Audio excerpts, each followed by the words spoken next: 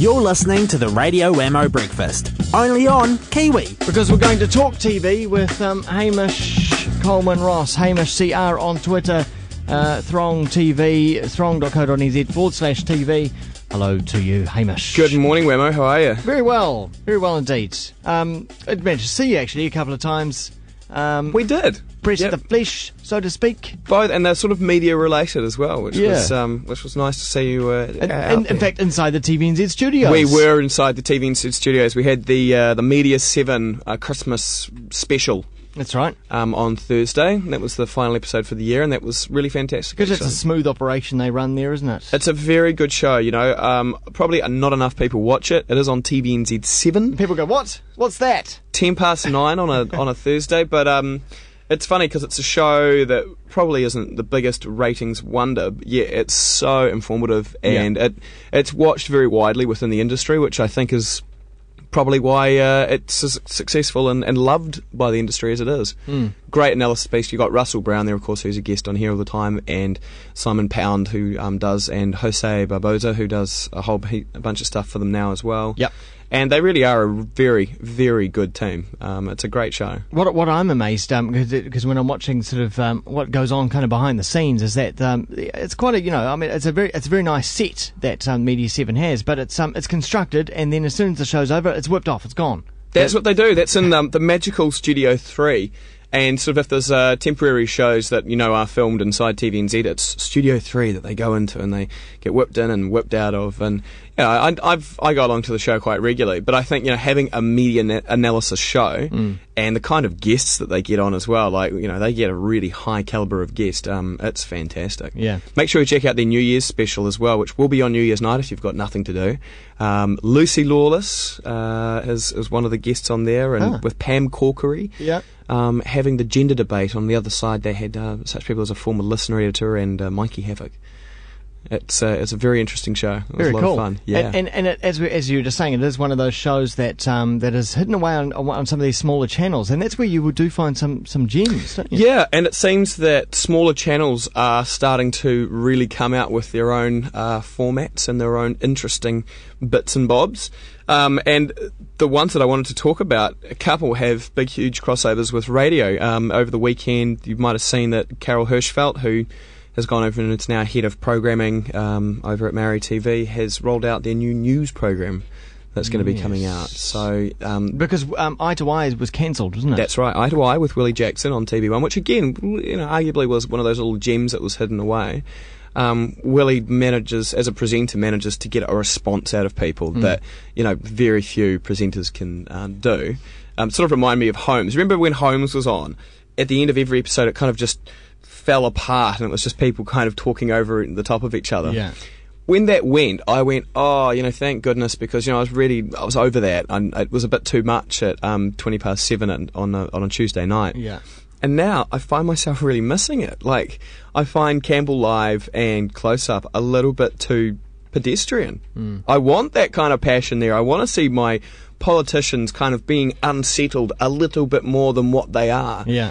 Um, I think they get a really easy ride in the media now, um, as far as the one-on-one interview situation goes. yeah. And so to see that they've got Willie from, of course, Radio Live um, back in there, Mm-hmm. I think could be very, very interesting. And being produced by Carol Hirschfeld, uh, I reckon you could have an exceptionally good show rolling out there. So that will be rolling out next year on Maori TV. Okay. Anything else catching your eye in that, in Yeah, that realm? the the other one. Um, one of the reasons I'm actually a little late in today was Yeah. we had the first night of filming last night for the new Mike King series. Oh, yes. uh, called the Nutters Club. Now, he's got a radio show of the same night. He has a radio show of the same name called The Nutters Club. Mm. Um, and this is uh, a mental health show. Mike's had a really public battle with um, depression and alcohol and drug addiction, which he said were symptoms of, of his depression. Mm. But what he's done is he, he set up this radio show and opened up the dialogue. Um, and enough people have taken note that Maori TV commissioned a 13 episode um, series. Well, by way of New Zealand on Air. Thanks, guys. Um, and yeah, we I was there last night at the first taping of the first episode. Um, How does that work? How do they how do they translate radio to, to TV? I mean, I know how it works here for the show. Sure. but- Sure. But but, to, but but for terrestrial TV, I don't know how does this work. Well, they they have a guest and then they have callers. I mean, it's a twenty minute, uh, twenty two minute show, so commercial half hour. Um, but then they, I believe, they'll be intersplicing some other pieces. So I believe they'll be intersplicing some comedy, etc. But hey, look, I think you're going to have to wait to see when it rolls out. Yeah. The big thing about the the Mike King show is, I think, you know, for everybody, it, it's such a turnaround from Mike's um, public persona as we knew him sort of five years ago. You know, he was on just about every reality TV show you could imagine, and now to be doing something with you know such depth. Um, you might think is a, a far call, but you know, in reality, it, it's it's amazing and it's incredible the number of people um, that uh, want to get involved, and it has had just had recently an international push. Last weekend on the BBC in the UK, a documentary was screened called Mind Games: Depression in Professional Sport, and one of the guests was John Kirwan Huh. um, who actually made mention at the conclusion of the show. Um, he said, "Hey, there's a guy in New Zealand called Mike King." Um, who is running a radio show called The Nutters Club? And I told him about Frank Bruno, the former heavyweight boxing champion, who of course is a Brit, about um, that you know that Frank Bruno had been open about his depression, so why couldn't Mike? And then it cut to Frank Bruno in raptures of laughter. And this has seen the uh, Nutters Club Facebook page and their Twitter account just be hit Yeah. by UK people that are interested in this already. So potentially we, we've got the, the makings of an, of something international here. Um, Yeah, and I- apparently a world first. Well, it, it would be, I, I'd imagine. Uh, and I don't know of any radio in New Zealand that has been able to break internationally. No, no, and so I think that's been you know very very interesting. Um, in so much as you know they're doing a show about depression, and apparently nobody else in the world was doing this. Hmm. So that's going to be on Maori Television, I think April next year. So Okay. they've just started filming that now. Um, and then you've got Prime um, have just uh, have been started filming a new gardening show as well, um, and they take a family, and over the course, th this family will make a garden.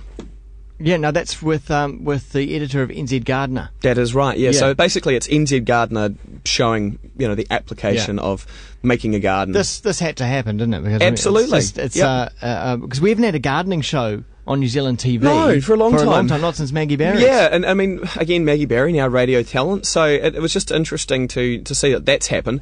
But uh, last week we talked about New Zealand's hottest home baker. Yeah. You know, and and I love, and as I said, I loved it because it's this kind of kitschy, you know, camp TV show. And then I kind of love that we're doing the same thing with the gardening now as well. You know, it's a really Kiwi kind of concept.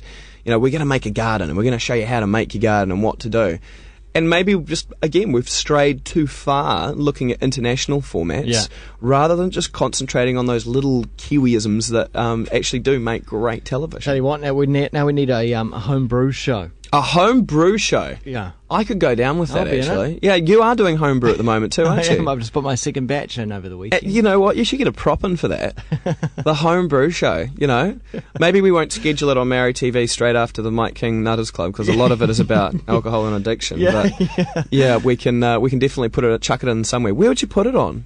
Um, oh, I guess uh, Prime. Well, Prime, Prime, I Prime, think. Prime do seem to like these sorts, sorts of shows. Um, Although I think I think we do need more uh, locally made content on six and seven. I, and I'm saying that everything on on six is generally locally made, but it's a lot of it's reruns. I mean, we need fresh stuff. Yeah, I mean, there's another great show on Six now that you bring it up, um, and it's the Department of Conservation um, worker, Yeah. and, and she just rocks around. And it's it's a kids show, but you know, shows all the awesome things that you can do out in the bush in New Yeah. Zealand. And I always thought to myself, you know, it's just a really great show. You know, they've always said that one of the best departments you could work in in New Zealand is the Department of Conservation, and be Yeah.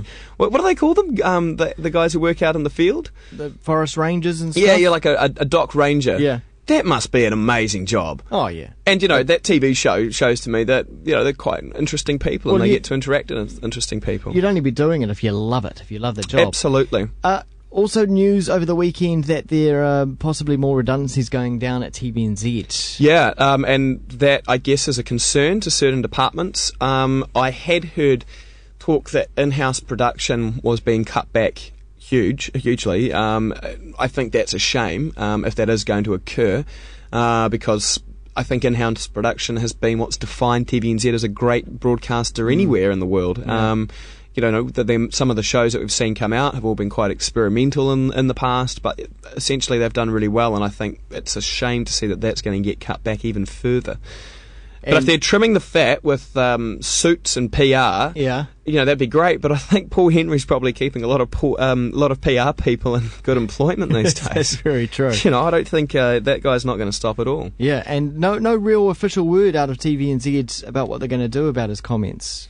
No, um, there is usually about a five to six week um, process that people can make complaints in, and I think you know they're just going to ride that out, which will take them right into the Christmas break. Yeah. Uh, but you know, I don't think we're going to see anything really happen to Paul. Like I said last week, I didn't, I didn't think there was anything amazing about his comments. Or, I mean, I understand why certain people would be getting upset about it, but at the end of the day, I, I think you know he you put a man in that position, what do you expect him to do? People probably forget some interesting facts about Paul, and so much as he is, he's fiercely independently wealthy. Yeah. Um, and also too, he has a huge journalistic uh, background. Um, you know, he's done a lot of foreign foreign correspondence work and was a huge veteran of talkback radio before he got into doing the breakfast show.